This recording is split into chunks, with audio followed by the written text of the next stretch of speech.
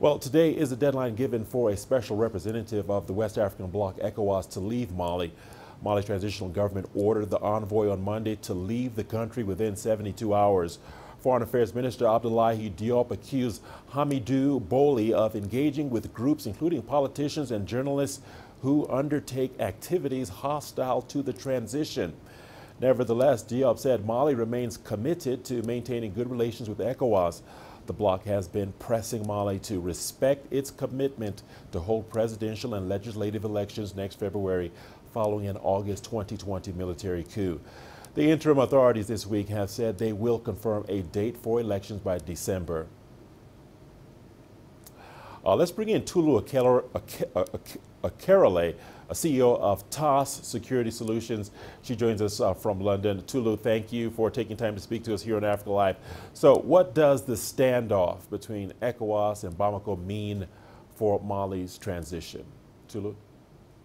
Well, thank you for having me on tonight. Um, although I don't represent ECOWAS personally, my avid interest in West African political development means that I can recognize ECOWAS is a supreming um, governing body. And if there is a standoff, it's most likely because Mali is jeopardizing the principles and values of what ECOWAS represents, which is, of course, cohesion and collective development, and to elevate the status of West African countries.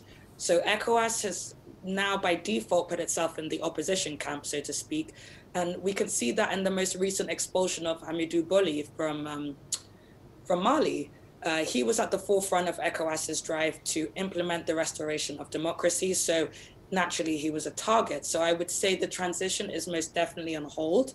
There are a matrix of factors that suggest that there will not be a transition to democracy in February. Um, nothing has been done to prepare. Uh, we haven't seen electoral lists being revised, delegation of territories, political activities um, campaigning, voter registration.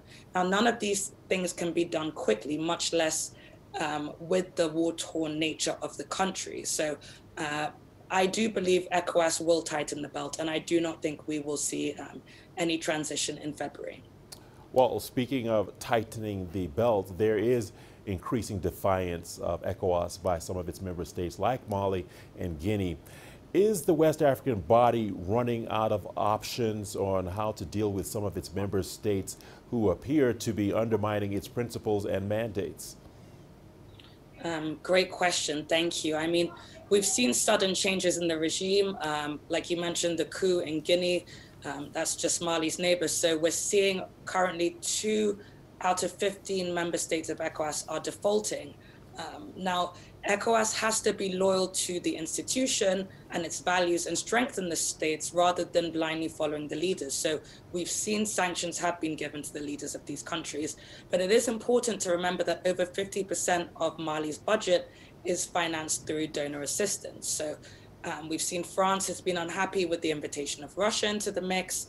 Um, they were seen as an enemy of the state, France, and paid the price for essentially standing up for the ECOWAS values. Now, if we go back to 2012, um, Nigeria was actually one of the first countries to denounce the coup back then um, and the unconstitutional manner of uh, the transition. But Nigeria has its own issues and security problems, and as a West African giant, can't really participate in um, Mali's affairs, which creates a, a larger problem for sub-Saharan Africa. And we're seeing a lack of willingness on the part of the regime in Mali to move forwards towards the restoration of democracy. So I do think it's a it's a tricky situation for ECOWAS because they're not going to use force. They will take the moral high ground because of the humanitarian aid that is extended.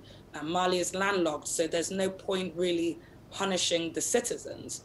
Um, we may see something like government to government contacts being limited. We may see a scaled back approach from diplomatic representation from ECOWAS to Mali. But uh, I think until we see this uh, active movement towards democracy in Mali, um, we're going to continue to see a knock on effect throughout the continent, and we're going to see as a result an increase in poverty and most likely deprivation. So I think it's going to be very difficult for Mali, um, especially when they're faced with soldiers or insurgents or you know weapons.